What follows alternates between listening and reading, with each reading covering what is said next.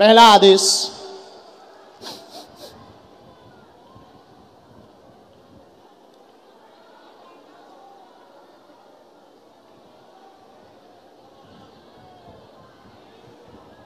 हाँ बाएँ हाथ में दो डी छोड़कर जो एलईडी लगी एलईडी के बगल में आ, एक ऋतिक नाम का बालक बैठा हुआ है।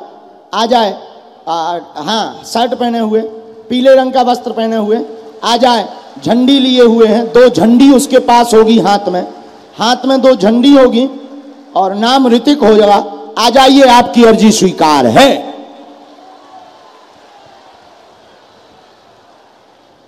हैं? झंडी है? हाँ हाँ हाँ। You come here my dear थोड़ा जल्दी आ जाइएगा। राम! साधु जी। अगला आदेश करो गुरु जी राम।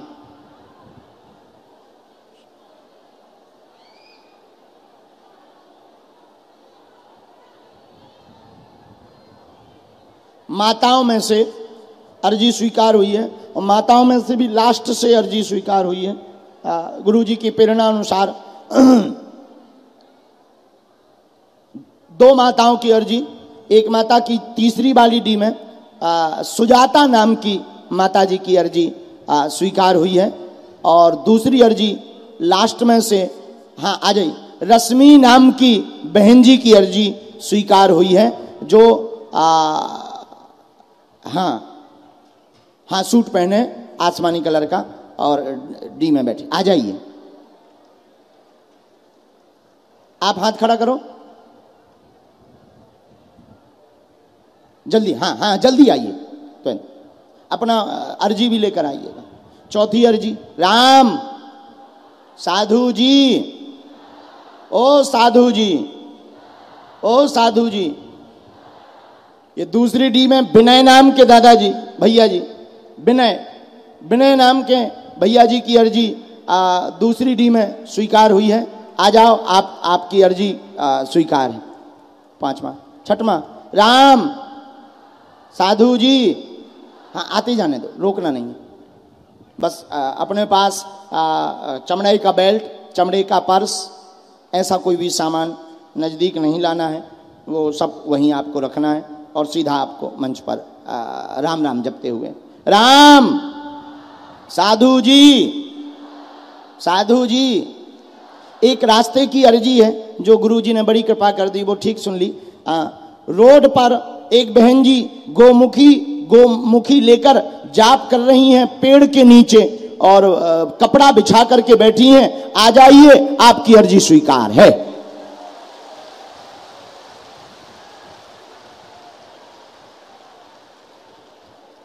और रोड पर ही कार के पास एक और भैया, जिनका नाम बबलू है दुकान के पास कार रखी, कार के पास बबलू नाम के भैया खड़े हैं और उन्होंने घर पर भी आज अर्जी लगाई थी और आज उनके घर से भी कहा था कि जाओ, आज तुम्हारी अर्जी लग जाएगी तो जाओ, तुम्हारी अर्जी स्वीकार है, तुम भी आ जाओ। राम राम राम, साधु जी साधु जी। दोनों हाथ उठा के बोलो बागेश्वर धाम की सन्यासी बाबा की अपने अपने मताई बाप की माताओं की एक और अर्जी मोहिनी हाँ मोहिनी नाम की बहन जी की अर्जी आ, ये एलईडी के पास मोहिनी नाम की बहन जी विराजमान है। आ जाइए आपकी अर्जी स्वीकार है। छह चलिए पहला नंबर भेजो तब तक जो भी आए हो पहले। हाँ खड़े होते जाए, यहीं खड़े होते जी जी हाँ जी बहन जी बहन, आ जाइए। उनको आने देना। आओ भाई साहब। अरे यार, तुम पूरी लंका ना ना कताओ, इतना हुआ। तुम तो डायरेक्ट बारे नज़र आ रहे हमें। इधर आओ यार, भाई साहब। हाँ हाँ ठीक है ठीक है। आओ, इधर आओ। जी, झंडी इन्हें दे दो, पंडित जी यहाँ। नज़दीक आओ।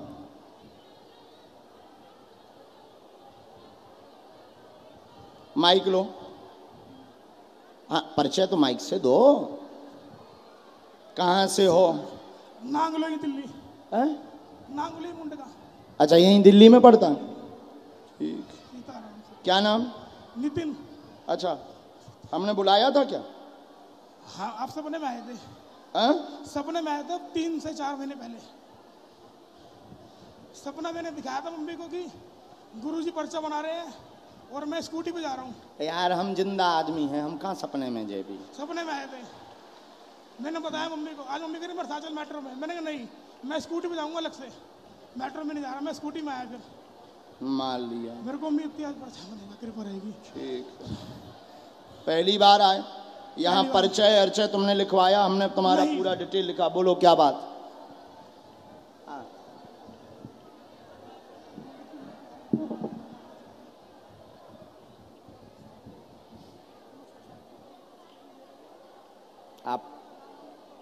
पिताजी का नाम क्या है आपके?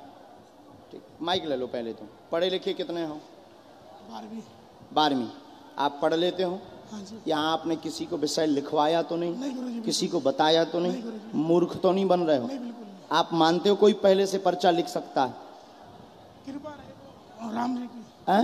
राम जी का आशीर्वाद रहे तो। आओ नज़दीक हम बताते हैं है आशीर्वाद के नहीं है आप विवाह कामना लेकर आए हैं लब विवाह करना चाहते हैं राधिका नाम की लड़की से आपका लब चल रहा है। बोलिए।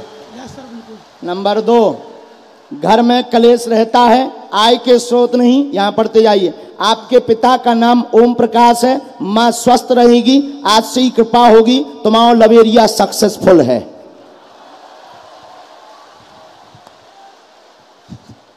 बराबर?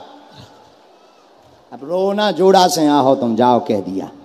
बागेश्वर हमें ना भूल जाइयो कि तुम भूल जाओ हमें। हाँ तो हम नहीं तो दूसरी अर्जी ठोक देगी उसको मैंने अभी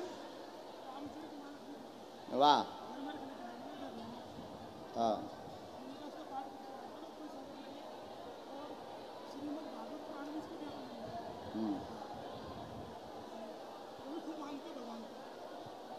तुमने ये भी कहा था कि हमारी अर्जी भी लगेगी। और तुम्हारी बात भी हुई आज। हाँ।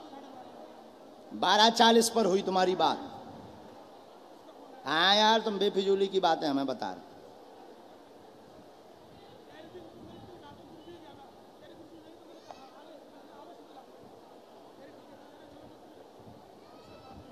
चलिए, हमने भी लिखा। ये मंत्र है, तीन माला करनी। बारह चालीस पर रात्रि को बात हुई थी और आपने अपने उनसे होबी वाली पत्नी से कहा था कि अर्जी लग जाएगी, वो भी पर्चे पर आया है, पर तुम्हारी अर्जी क्यों लगी ये सुनो। हम तो खुद विस्मय में हैं कि इतने बीमार लोग बैठे और गुरु जी ने उनकी सुनी नहीं आगे को लोगों लबेरिया वाले की सुन ली। तो हमने अभी वही उनसे पूछा मन ही मन में कि इतने लोग नहीं तुम्हें दिखाने हैं जौन परेशान हैं, और जौन आगे को लोगों ईलू इलू में फंसो। उसकी अर्जी। तो फिर उन्होंने जवाब हमको दिया। गुरु जी का कहना है कि आपने अपने घर पर भी अर्जी लगाई और बीच में आपने प्रण लिया था कि अगर हमें प्राप्त नहीं हुई तो हम अपने प्राणांत कर लेंगे और अगर बालाजी ने नहीं सुनी तो प्राणांत कर लेंगे। और हनुमान जी के आप भक्त हैं और लगातार हनुमान जी के मंदिर में एक ही अर्जी ठोकी कि इलू इलू सक्सेसफुल हो जाए। तो तुम्हारी श्रद्धा ना घट जाए, इसलिए अर्जी लग गई और जाओ, जय जय हो जय।